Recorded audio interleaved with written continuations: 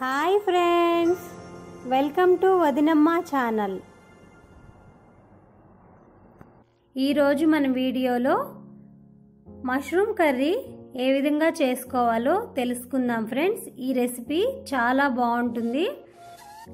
ఈ mushroom curry అనేది hotel స్టైల్లో మనం ఇంట్లోనే ఎంత ఈజీగా చేసుకోవచ్చో చూసేద్దాము. ఇది చాలా బాగుంటుంది చాలా టేస్టీగా చాలా రుచిగా ఉంటుంది. మనము అన్నంలోకి చపాతీల్లోకి బాగా మనకి బాగా కుదురుతుందండి. ఇలా కానీ చేసినట్లయితే అన్నంలోకి చపాతీలోకి చాలా టేస్టీగా ఉంటుంది ఈ మష్రూమ్ కర్రీ అనేది. ఈ విధంగా ఒకసారి మీరు ట్రై చేయండి ఫ్రెండ్స్. ఇది మీకు చాలా బాగా నచ్చుతుంది. నేను ఇప్పుడు అది ఎలాగ చేయాలో చూపించేస్తాను. మీరు కూడా చూడండి. మీకు ఎలా వచ్చిందో కూడా నాకు కామెంట్స్ చెప్పండి ఫ్రెండ్స్ ఇప్పుడు మనము చక్కగా ఈ మష్రూమ్ కర్రీకి ఏమేం కావాలో చూసేద్దాము.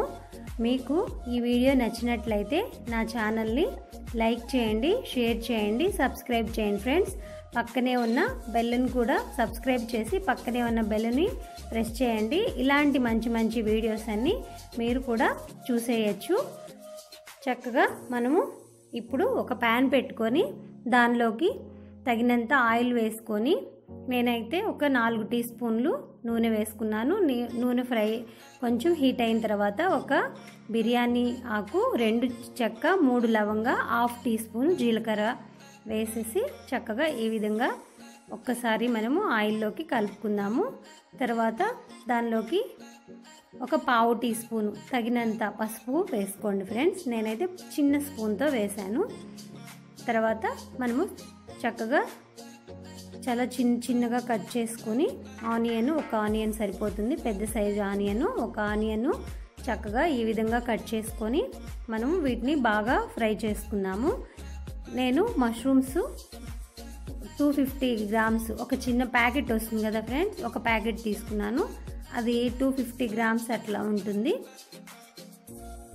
దానిలోకి ఒక ఉల్లిపాయ పెద్ద సైజు ఉల్లిపాయ అయితే సరిపోతుంది. ఈ విధంగా ఉల్లిపాయలు బాగా ఫ్రై అవ్వాలి. కొంచెం సాల్ట్ వేసి ఫ్రై చేసుకున్నాను. కరివేపాకు రెండు పచ్చిమిర్చి ఈ విధంగా కట్ చేసి వేసుకోండి. ఆనియన్స్ అనేది ఇంకా కొంచెం మనకి బాగా ఫ్రై అయితేనే మంచి రుచి వస్తుంది ఫ్రెండ్స్. ఆనియన్స్ గోల్డ్ కలర్లోకి రావాల్సిందే. వస్తేనే మనకి మంచి టేస్ట్ అనేది. ఏ కర్రీకైనా ఆనియన్స్ అనేది బాగా ఫ్రై అయితేనే మసాలా కర్రీలన్నిటికీ ఆనియన్స్ బాగా ఫ్రై అయితేనే మంచి టేస్ట్ వస్తుంది ఫ్రెండ్స్. ఈ విధంగా ఆనియన్స్ ఫ్రై అయిన తర్వాత ఒక టీ స్పూను అల్లం వెల్లుల్లి పేస్టు వేసేసుకున్నాను. ఈ విధంగా అల్లం వెల్లుల్లి పేస్టు పచ్చివాసన పోయేదాకా మనం ఫ్రై చేసుకున్నాక దీనిలోకి పెద్ద సైజు టమాటాలని నేను మిక్సీకి వేసి పేస్ట్ చేసుకొని వేసేసాను. పేస్ట్ చేసిన టమాటోస్ కూడా వేయాలండి కంపల్సరీగా. మనకి చిన్న ముక్కలుగా కన్నా పేస్ట్ చేస్తే గ్రేవీ అనేది సూపర్గా ఉంటుంది.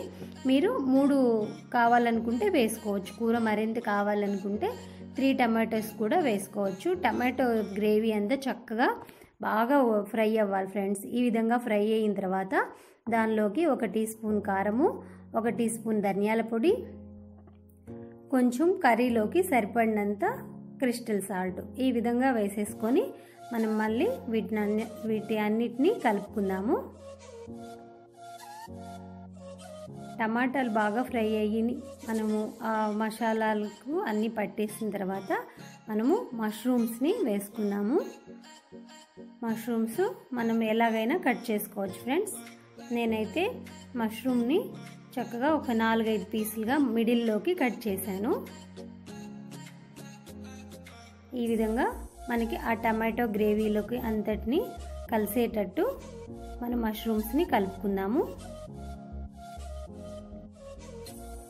ఈ ఎవరైనా వంట రాని వాళ్ళు కూడా ఈ విధంగా చేసుకోవచ్చు ఫ్రెండ్స్. నేను చూపించిన విధంగా చేస్తే వంట రాని వాళ్ళు కూడా అంత టేస్టీగా చేసేస్తారు. ఈ మష్రూమ్ కర్రీ అనేది చూడండి మీరు కూడా చూసి ఈ విధంగా చేయండి. ఎంత టేస్టీగా ఉంటుందంటే సూపర్ అంటే సూపర్ అంటారు. నేను పేస్ట్ చేసుకున్న టమాటో మిక్సీ జార్ ఉంది కదా దానిలోకి కొన్ని వాటర్ వేసేసి వేసేసాను ఫ్రెండ్స్. వాటర్ పోసుకొని కొంచెం పల్పు ఉంటుంది కదా కొంచెం మిక్సీ జార్కి అది కూడా మొత్తం పడిపోవాలని నేను దానిలోకి కొన్ని వాటర్ తీసుకొని ఈ కర్రీలోకి పోసుకున్నాను. కన్సిస్టెన్సీ అనేది వాటర్ అనేది మనకి మరి జా నీళ్ళు నీళ్ళగా ఉండకూడదు. మీడియంగా ఉండాలి. ఆ విధంగా ఒక రెండు మూడు నిమిషాలు బాగా ఉడికిపోయిన తర్వాత దీనిలోకి జీడిపప్పు పొడి ఒక ఒక టీ స్పూన్ పెద్ద టీ స్పూన్తో చూపించాను ఫ్రెండ్స్.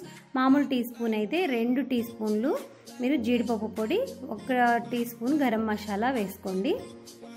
ఈ మసాలాలు కారము అనేది మన టేస్ట్ని బట్టి వేసుకోవచ్చండి. కొంతమంది మసాలా ఎక్కువ తీసుకుంటారు కొంతమంది తక్కువ తీసుకుంటారు. కాబట్టి మీ టేస్ట్కి తగినంత కారము ఉప్పు మసాలా అనేది మీ ఇష్టం ఫ్రెండ్స్. ఈ విధంగా జీడిపప్పు పొడి వేసిన తర్వాత ఒక్క రెండు మూడు నిమిషాలు ఫ్రై అయితే చాలు. తర్వాత మనం లాస్ట్లో మనం ఇంకా కొత్తిమీర వేసుకొని ఆఫ్ స్టవ్ ఆఫ్ చేసుకోవచ్చు. ఇంకొకటి ఫ్రెండ్స్ మన దగ్గర కస్తూరి మెంతి ఉంటే భలే బాగా ఉంటుంది హోటల్ స్టైల్ అని చెప్పాను కదా. హోటల్ స్టైల్లో బాగా మంచి టేస్ట్ ఇది కూడా సూపర్గా ఉంటుంది. మనం కస్తూరి మెంతి వేస్తే ఇంకొంచెం బాగా టేస్ట్ అనేది ఇంకొంచెం పెరుగుతుంది. ఇప్పుడైతే నా దగ్గర లేదు ఫ్రెండ్స్. అంతే ఫ్రెండ్స్ ఎంతో రుచికరమైన మష్రూమ్ కర్రీ రెడీ అయిపోయింది. ఈ విధంగా మీరు కూడా చేసుకొని నాకు మీ కామెంట్స్ చెప్పండి ఫ్రెండ్స్. ఎంతో టేస్టీ టేస్టీ మష్రూమ్ కర్రీ మీకు నచ్చినట్లయితే సబ్స్క్రైబ్ చేయండి friends. Thank you friends. Thank you for watching. నా ఛానల్ని సబ్స్క్రైబ్ చేయడం మర్చిపోవద్దు.